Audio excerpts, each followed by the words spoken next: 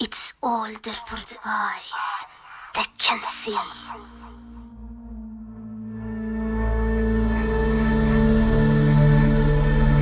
The blind ones will always suffer in secrecy. Prize the omen, but lies submerged, untouched.